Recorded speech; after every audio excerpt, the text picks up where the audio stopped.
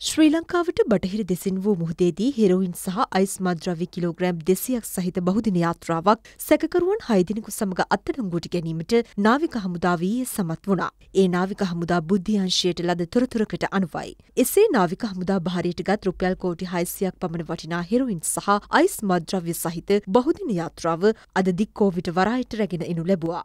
මද්‍රව්‍ය ජාවාරම මැඩලීම සඳහා ශ්‍රී ලංකා පොලිසිය වගේම ත්‍රිවිධ හමුදාව යුහුසුලුව මෙහෙයුම් සිදු කරන මොහොතේ රට වට බැඳී රන් වැට ශ්‍රී ලංකා නාවික හමුදාව ගැඹුරු මුහුදේදී සිදු කළ මෙහෙයුමකදී සිය බහරයටගත් යාත්‍රාව තමයි මේ ඔබ දකින්නේ. ඉතින් මේ යාත්‍රාවේ සිටි සැකකරුවන් 6 දෙනෙක් අත්අඩංගුවටගෙන සිදු කළ ප්‍රශ්න කිරීම වලදී හෙරෝයින් කිලෝ 200කට අධික ප්‍රමාණයක් නාවික හමුදා බුද්ධ්‍යංශ බහරයටගෙන තිබෙනවා.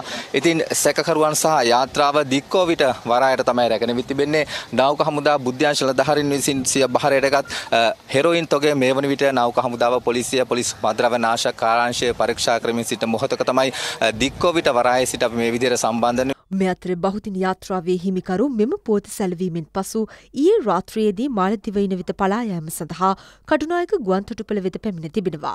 ඒ අනුව සිදු කළ පරීක්ෂණවලදී ගුවන්තොටුපළ පොලිස් මද්‍රව්‍ය විනාශක අංශයේ නිලධාරීන් පිරිසක් යාත්‍රාවේ හිමිකරුව අත්අඩංගුවට ගැනීමටයි කටයුතු කර තිබුණේ. මෙලෙස අත්අඩංගුවටගත් යාත්‍රාවේ හිමිකරු වැඩිදුර විමර්ශන සඳහා කොළඹ පොලිස් මද්‍රව්‍ය විනාශක අංශයේ මූලස්ථානයේ වෙත රැගෙන විත් තිබෙනවා.